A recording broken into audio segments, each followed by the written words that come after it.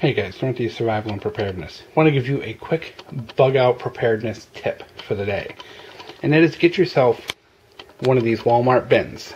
And uh, doesn't have to be expensive, doesn't have to be majorly heavy duty or anything like that. Just get a bin.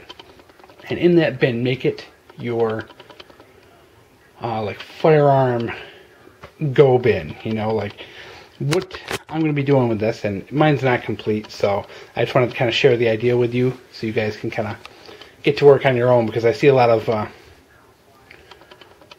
you know, a, a, lot of ways where in a bug out situation it would be very easy to forget a lot of these items. So what I'm going to do is I'm going to pick out three firearms. As you can see, I've already picked them out because we have 12 gauge 40 Smith & Wesson and some 7.62x39 in there, and I'm going to add probably three 400 rounds of ammunition per gun. And then what I'm also going to add to this, which isn't in there yet because I got to get out and buy them, is uh, I'm going to add a cleaning kit for each weapon, cleaning supplies, um, and everything I need to maintain the weapon. Um, and that's everything. If, if the firearm needs a screwdriver to take it down, I'm going to make sure there's a screwdriver. If I need a pin or anything like that, any extra spare parts I have, I'm going to make sure that they're in here you know, so that they're available to me whenever I need to bug out. And um, I'm going to purchase extras. So a lot of these uh, these firearms, I'm going to purchase maybe extra parts and put them in here, so that you know I'll have my extras, you know, in my in my gun case. But I'll also have an extra in here in case that bug out ever really does happen. And I'm also going to put things you know, like the accessories for the firearm as well. So for like my 12 gauge, I'm probably going to add my bandoliers, fully loaded. I'm probably going to add my you know, like shotgun shell belt, maybe uh,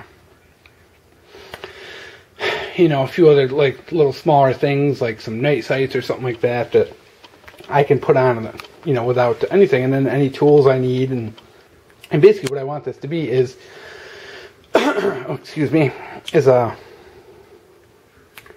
is a bin that's going to have everything I need to use and maintain my three bug out firearms and. Uh, that includes maybe putting a holster, sling, and extra, you know, extras of these things, not just what you have, but extras. Because in a true bug out situation, you're not going to have time to think.